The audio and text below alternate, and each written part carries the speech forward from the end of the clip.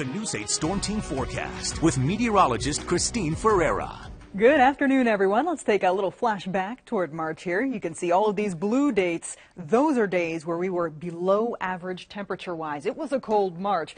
We'll show you the facts right here. Our highest temperature, 61. That is one of two 60 degree days that we've had so far this year.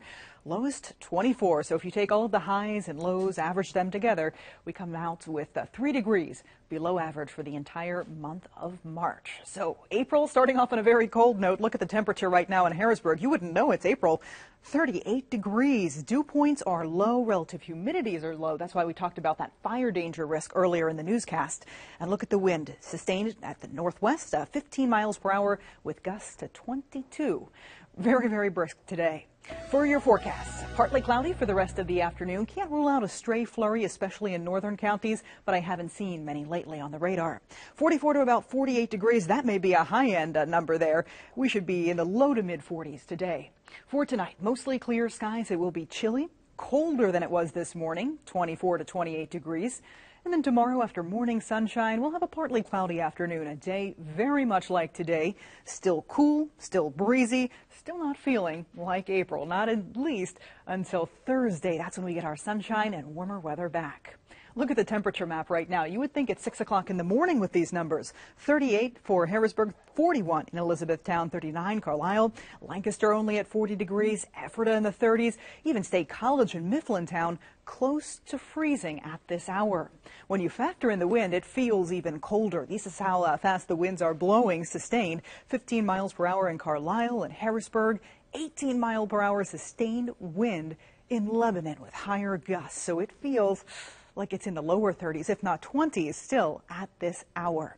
Here is our satellite and radar picture. You can see those snow showers streaming overhead. Those are uh, about three hours ago we had those.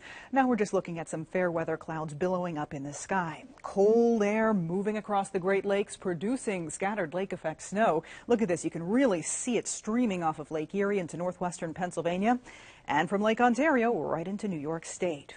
We will be dominated by this cool weather pattern not only today, but tomorrow. So that does mean high temperatures only in the 40s for us. Here's what the predictor has to say. Tomorrow, high pressure building into Ohio will give us that northwesterly flow, keeping us cool. Watch the high here. It slides overhead Wednesday night into Thursday morning, keeping us clear and finally starting to warm things up. You see this flow out of the south around the backside of the high on Thursday. That means 50s for us, so we are really going to start to see a temperature surge at the end of the week. Now, Friday, look at this. I'm watching this weather system, which will scoot off the mid-Atlantic coast. I think it'll bring quite a bit of cloud cover for us on Friday and only a slim chance of rain. Here's a look at your three-day forecast. We'll go with 46 today, 48 tomorrow, and 54 there on Thursday. Looking good. High pressure firmly in control.